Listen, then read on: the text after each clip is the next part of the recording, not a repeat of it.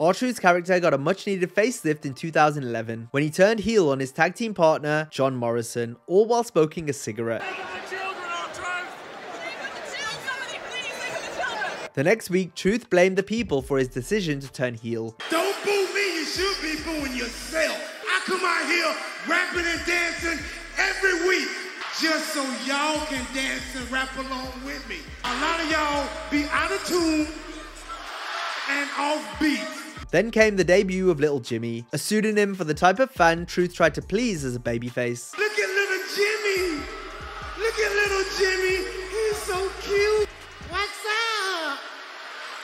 What's up?